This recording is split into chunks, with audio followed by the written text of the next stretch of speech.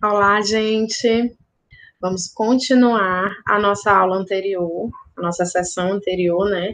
A aula é a mesma, a gente vai permanecer com a mesma agenda da página 72 até a página 78, mas na sessão anterior nós já fizemos até a página 75. Por que, que a lei separou as sessões?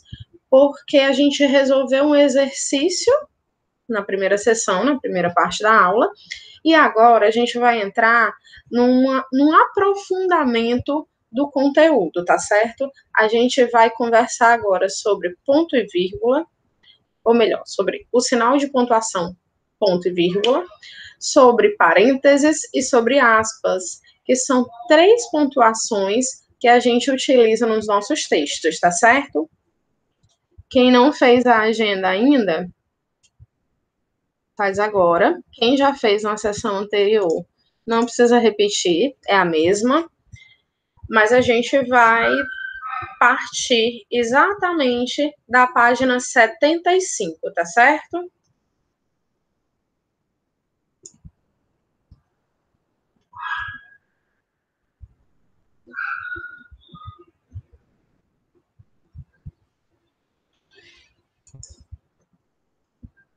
Só um instante. A Leide vai abrir o livro novamente.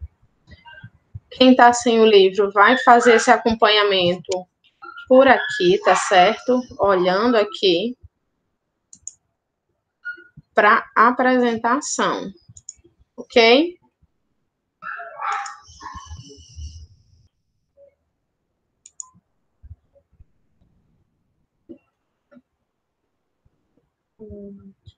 Já estamos com acesso, vocês já estão visualizando. Pronto. Olha só. Página 75, tá certo? Lá no finalzinho, ó, ele fala sobre outros sinais de pontuação. Acompanha comigo do teu PL. A gente vai fazer uma leitura junto para a gente poder entender cada sinal, tá bom? Outros sinais de pontuação. Ponto e vírgula. O ponto e vírgula é um sinal de pontuação intermediário entre a vírgula e o ponto. É como se a gente utilizasse, pessoal, essa pontuação para uma pausa mais longa, quando a gente quer dar um sentido diferente na entonação da leitura do texto. Vou já mostrar para vocês como é que fica. Olha só, ele divide a organização em partes maiores, tá? Ele divide e organiza em partes maiores uma frase com muitas vírgulas. Ou ele pode só só vir mesmo no lugar onde teriam vírgulas, tá? Mas eu vou mostrar para vocês que a leitura é diferente, tornando-a mais clara. Observe este trecho do conto A Bela e a Fera. A mais velha disse que queria um rico piano. A do meio pediu um vestido de seda. E a mais nova respondeu que não pretendia nada, senão que ele fosse muito feliz e a abençoasse. Olha só. Veja que a frase acima é longa e visa informar qual é o pedido de cada uma das que as três irmãs fizeram ao pai, né? Veja só, gente, se, se eu tivesse colocado vírgula em vez do ponto e vírgula, olha como é que ficaria a leitura. A mais velha disse que queria um rico piano, a do meio pediu um vestido de seda, e a mais nova respondeu que não pretendia nada, senão que ele fosse muito feliz e a abençoasse. Eu dou uma pausa menor. Vamos ler com ponto e vírgula. A mais velha disse que queria um rico piano. A do meio pediu um vestido de seda. E a mais nova respondeu que não pretendia nada, senão que ele fosse muito feliz e a abençoasse. Vocês conseguem perceber que a pausa com ponto e vírgula ela é um pouco mais extensa do que a pausa só com a vírgula? A intenção é exatamente essa. Alguns pontos, gente, nós vamos conseguir utilizar é, outras pontuações mas elas fazem mais sentido, elas dão uma entonação maior, melhor ao nosso texto. É por isso que, nesse caso, nesse texto, o ponto e vírgula foi utilizado, tá certo? Vamos lá. Se tivesse sido. Olha só, como o teu livro está dizendo a mesma coisa que eu acabei de dizer. Veja sua frase acima, é longa e visa informar qual é o pedido que cada uma das três irmãs faz ao pai. Se tivesse sido empregada apenas a vírgula para separar cada pedido, a, compre a compreensão da frase poderia ficar prejudicada. Talvez nem ficasse prejudicada, mas a entonação é diferente, tá certo? Assim, o ponto e vírgula separa os pedidos das irmãs, deixando claro quando inicia e quando termina o pedido de cada uma. Eu acho que de fato ficou mais claro, né? Olhe de novo para o texto, ó. A mais velha diz que queria um rico piano. A do meio, um vestido de seda. E a mais nova respondeu que não pretendia nada, senão que ele fosse muito feliz e a abençoasse. Percebem? A gente para mais separando os pedidos de cada irmã. Tá bom? Vamos para a página seguinte, conversar um pouquinho sobre parênteses. É outro ponto, né? É outra pontuação. Olha só, gente. Parênteses. Os parênteses são utilizados para introduzir uma informação adicional que não é essencial. É como se eu conseguisse, gente, retirar aquela informação do texto e essa, esse texto continuasse com sentido, ele não perdesse nada em relação à compreensão, tá certo? Vamos ler esse texto? Olha que pato lindo, azul. Deixe, deixe os patos em paz. Quem não alimentou, abre parênteses, ou quis alimentar, fecha parênteses, pato com miolo de pão. Perceba, ó, veja como eu poderia ler sem, sem a informação dos parênteses. Quem não alimentou patos com miolo de pão? Tá vendo? Ó? Eu não tenho lá uma perda de sentido da minha frase, né? Mas é uma explicação que o autor quer te dar, é uma informação complementar. O problema, vamos voltar para o texto. Quem não alimentou ou quis alimentar patos com miolo de pão? O problema é que isso é péssimo, segundo um estudo da Universidade de Cornell, nos Estados Unidos da América, né? Perceba aí que foi colocado um parênteses para colocar a, a, a abreviatura da, do local, né? Ele colocou aí a informação dentro de um parêntese. Se eu tivesse é, retirado essa informação, se o autor tivesse, a gente perderia o sentido do texto? Olha só, o problema é que isso é péssimo, segundo um estudo da Universidade de Cornell. A informação está completa, não está? Pão, continuando o texto. Pão não tem os nutrientes certos que os patos precisam. Sem falar que pão estragado polui a água e faz com que algas nocivas apareçam na superfície, matando peixes e causando doenças nos patos. Quer dar comida a eles? Você pode substituir o pão por ervilha, milho, aveia ou alface picada. Ninguém vai te julgar. Olha só como ele separou os termos, gente. Ervilha, milho, aveia. Ele separa com vírgula, ó, porque são termos similares, né? Semelhantes. São todos substantivos, tá, gente? Me acompanha na leitura, tá? Note que os parênteses foram usados duas vezes no texto. A primeira em ou quis alimentar, com o objetivo de introduzir um comentário complementar.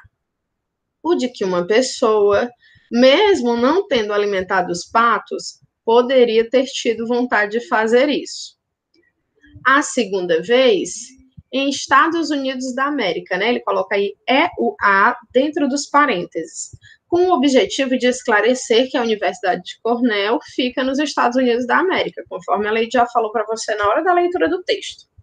As duas informações são adicionais, ou seja, não são essenciais e poderiam ser eliminadas do texto sem prejuízo para a sua compreensão.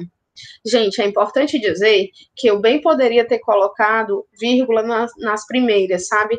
A, a frase ou quis alimentar, como ela é uma frase explicativa, ela poderia tranquilamente, em vez de ter vindo entre parênteses, ter vindo entre vírgulas. Continuaria com o mesmo sentido, com a mesma ideia. Era uma explicação não essencial, tá certo? Leide, e no caso dos Estados Unidos, a abreviatura, eu poderia colocar de, entre vírgulas? Nesse caso, gente, é ideal que se coloque entre parênteses, tá certo? Aspas. Aí, laranjinha, vamos continuar o nosso estudo.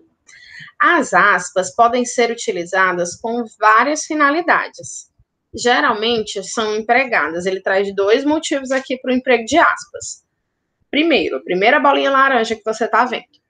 Para reproduzir a fala ou pensamento de uma pessoa ou personagem.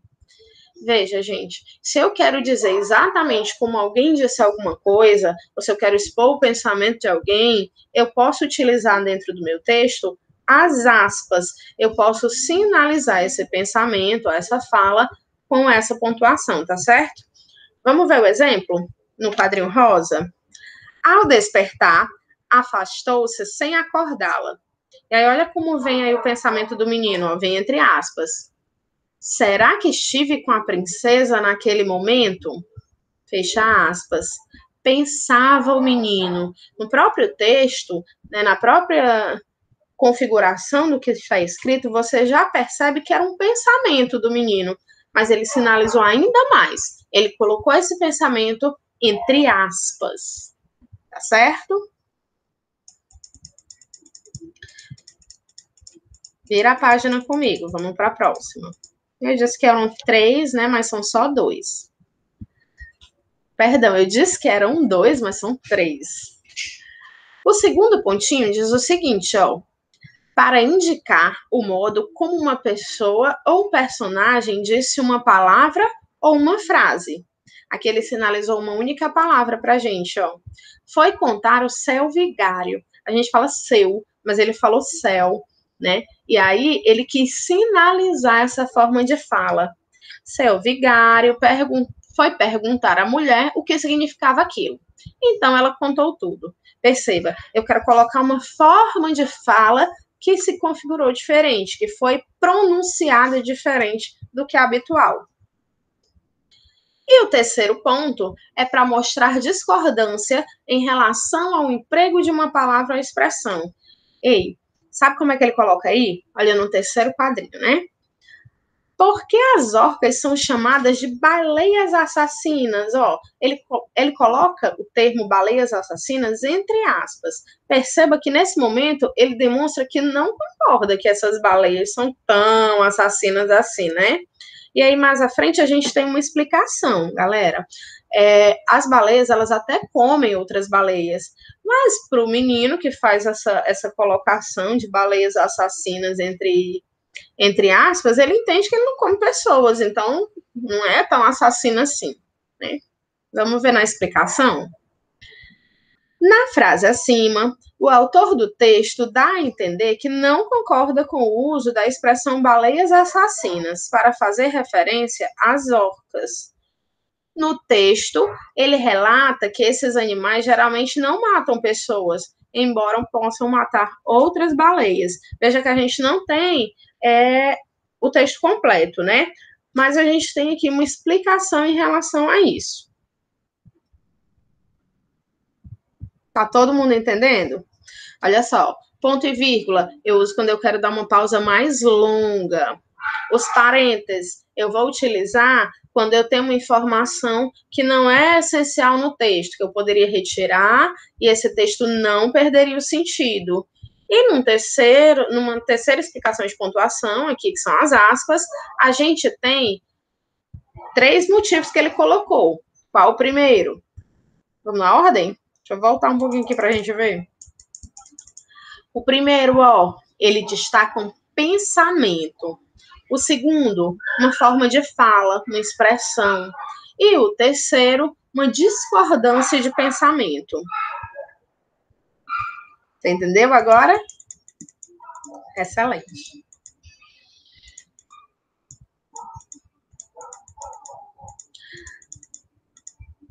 Gente, Vamos ver o texto para a gente encaixar essas pontuações, para a gente entender direitinho na prática? Vamos lá. Abaixando a cabeça, Perdão, deixa eu fazer a referência dessa leitura de cima para vocês. O texto a seguir faz parte de uma história em que os pássaros pedem ao Tico-Tico que descubra qual é o nome da fruta que chamamos laranja. Vamos ler? Eu acredito que seja só um fragmento do texto, certo? Abaixando a cabeça e cantando. E que tinha também de ver beijando todas as flores que encontrasse pelo caminho zumbem, zumbem, zumbem. Mas o Tico-Tico não abaixou a cabeça, nem cantou, quando ouvi a trovoada roncar, nem beijou as flores. Quando ele veio chegando, os passarinhos foram se encontrar com ele e perguntaram o nome da fruta. Com um ar de bobo, ele não soube responder, nem o nome da fruta, nem nada. Quanto mais os outros passarinhos perguntavam, mais atrapalhado ele ficava com a algazarra. Afinal, pousou no chão e veio vindo cambaleando e mancando. Então os outros disseram: Ora, o Tico-Tico é um bobo. Vamos mandar ao céu beija-flor. Nesse tempo, o beija-flor ainda não tinha tal nome. Eles o chamaram assim: Vem cá, amiguinho, vem cá. Você que é tão vivo e tão ligeiro, vai saber de Nosso Senhor como é que se chama aquela fruta e se ela é de comer. O beija-flor foi. Gente, antes das questões, a gente vai voltar um pouquinho para o início do texto e observar a nossa pontuação. Agora você nem precisa olhar para o seu PL, você olha aqui para a minha tela, tá bom? Olha só. Abaixando a cabeça e cantando. Ponto final. É uma afirmação, é o que está acontecendo. E que tinha também de vir beijando todas as flores aquele que encontrasse pelo caminho. Dois pontos, ó. O que, que ele vai fazer com esses dois pontos aí? Ele vai anunciar para você que tem um som aí que ele está ouvindo, ó, e que você pode identificar exatamente como assim, zumbim, zumbim, zumbim, vou começar a fazer mais, ó, zumbim, zumbim, zumbim, tá? Vão rir não do meu zumbim. Olha só, ele colocou esse som entre aspas. Ele está dizendo para você que é um som. Ele anunciou com os dois pontos que vinha alguma coisa aí que você tinha que prestar atenção, uma fala, e colocou essa fala entre aspas, porque na verdade não é uma fala, é um som, é o som do bichinho, né? Mas o Tico-Tico não abaixou a cabeça, vírgula, nem cantou, vírgula, quando ouviu a trovoada roncar, vírgula, nem beijou as flores. Ponto final. Ele fez, ó, várias afirmações. E por ter feito várias afirmações, ele separou cada uma com vírgula. Agora perceba que é sobre o mesmo bichinho. Então ele não necessitou de uma pausa mais longa. Por isso que ele não usou o ponto e vírgula. Ele usou as vírgulas para que você soubesse que havia uma pausa, porque são várias ações encadeadas aí, né? Não abaixou a cabeça, não cantou, quando ouviu a trovoada roncar, nem beijou. Né? São várias ações, mas é sobre o mesmo bichinho, ele separou para você com vírgula. Existe uma pausa, mas ela é curta, tá? Por isso o uso da vírgula. Olha só como contemplou todos os assuntos que a gente estudou esse texto, né? Quando ele veio chegando, ó, vírgula, porque ele está dizendo para você só um tempo, um momento, né? Os passarinhos foram se encontrar com ele e perguntaram o nome da fruta é uma afirmação, ó. Perguntaram o nome da fruta. Ah, Leide, mas é uma pergunta o nome da fruta. Mas não foi direta para ele. Ele está contando para o leitor do texto que uma pergunta existiu ali. E por conta disso, é uma afirmação, é uma frase declarativa, ganha o ponto final. Tá certo? Com ar de bobo, ele não soube responder. Nem o nome da fruta, nem nada. Perceba, ó, tem aí uma condição dele, o que ele fez, ele separou cada coisinha por vírgula. Quanto mais os outros passarinhos perguntavam, mais atrapalhado ele ficava com a algazarra. Aqui eu tenho um ponto e vírgula, portanto, a minha pausa é maior. Tá? Quanto mais os outros passarinhos perguntavam, mais atrapalhado ele ficava com a algazarra.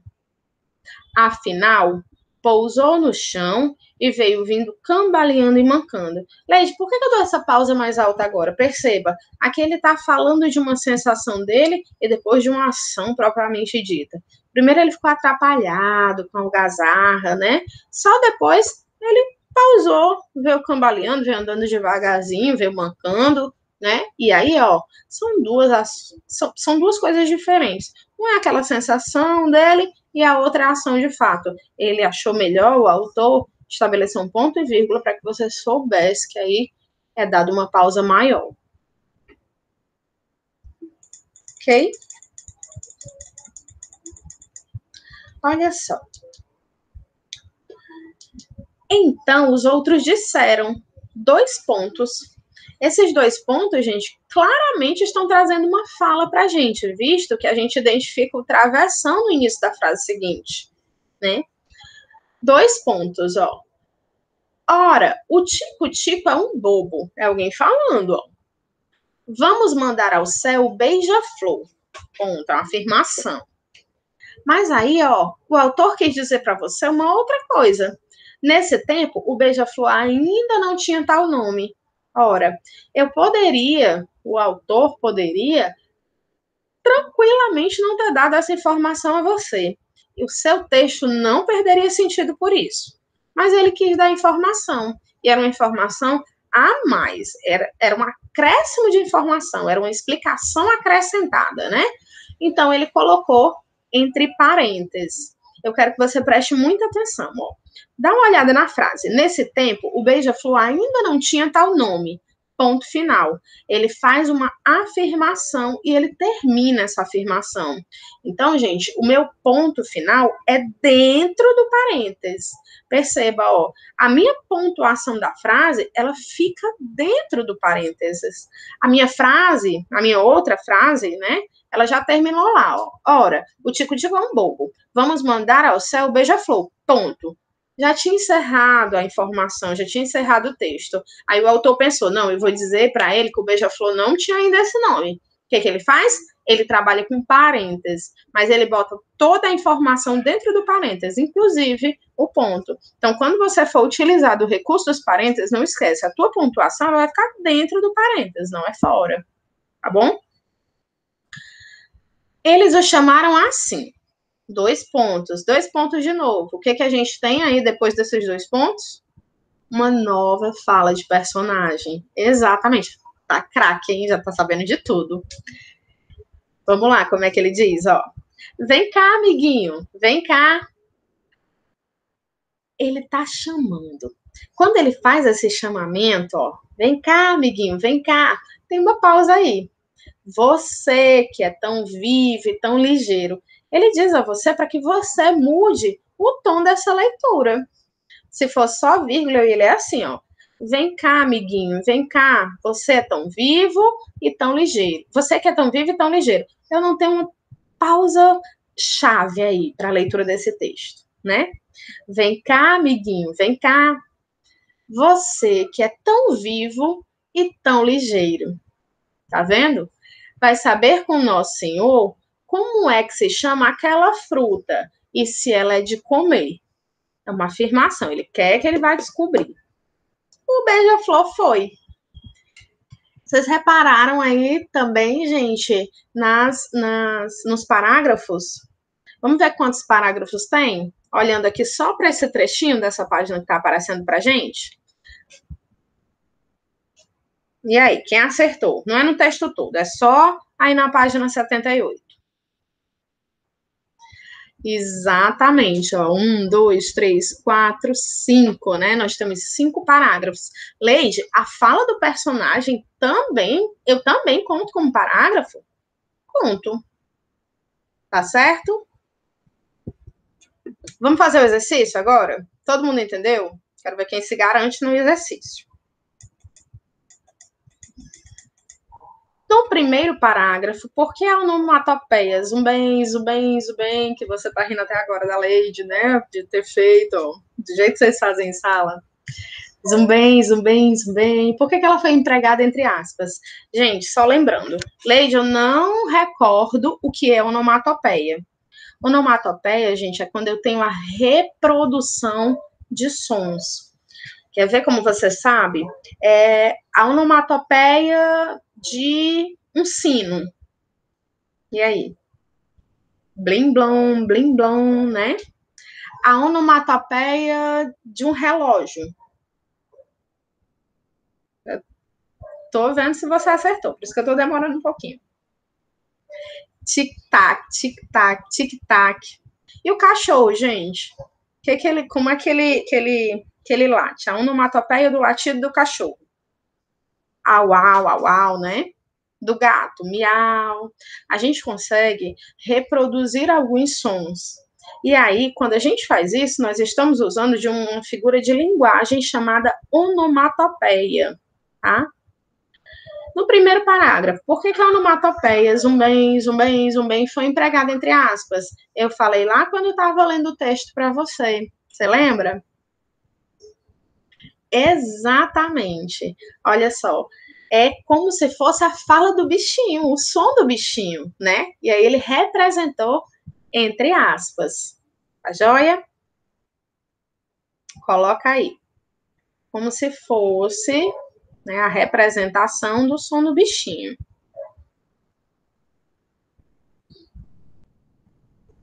Vamos fazer a questão 2?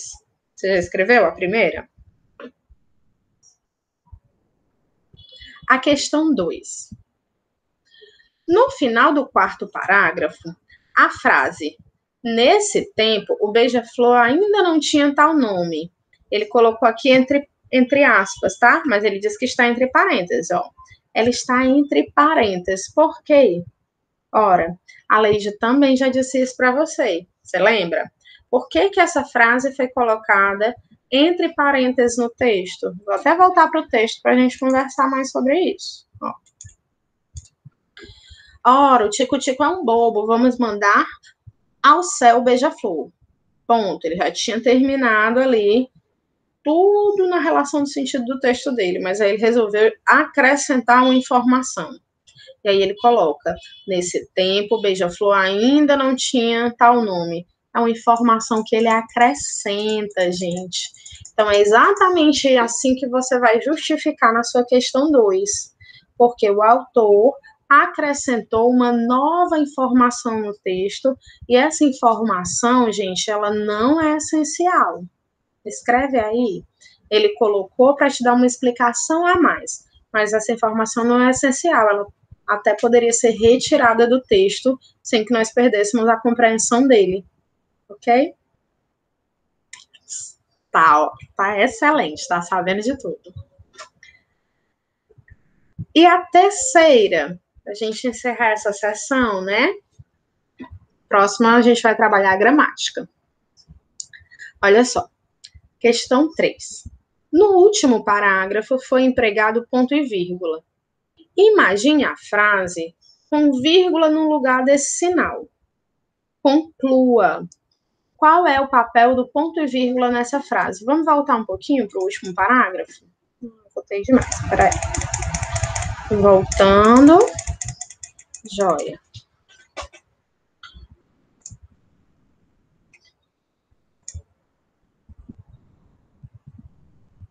Ok.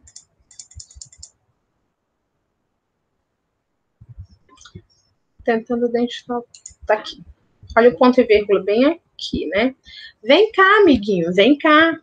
Você que é tão vivo e tão ligeiro. Perceba, gente, eu também já falei isso. Se ele tivesse usado um ponto, por exemplo. Vem cá, amiguinho, vem cá.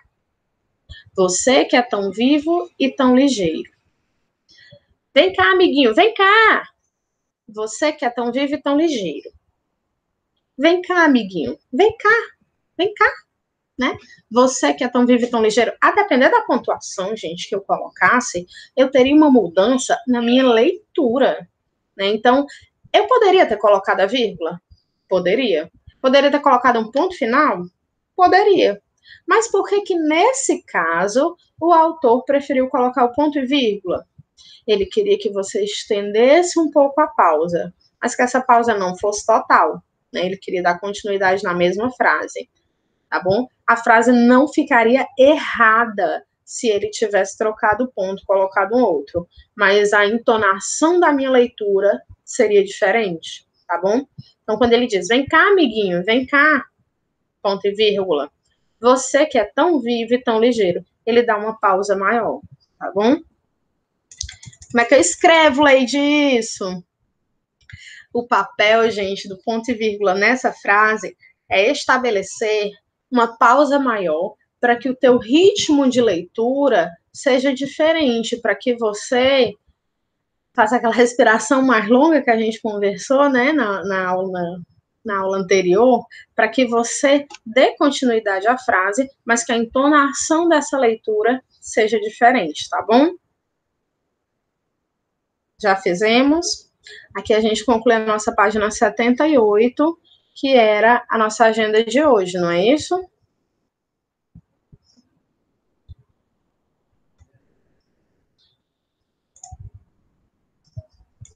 Ok, confere comigo. Hoje a gente fez os exercícios da página 72 até a página 75 e a gente aprendeu a usar melhor três pontuações aí, né? As aspas, os parênteses o ponto e vírgula. Ok?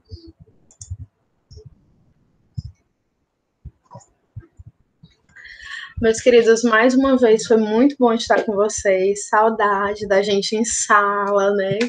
eu tô com a mesma saudade de vocês.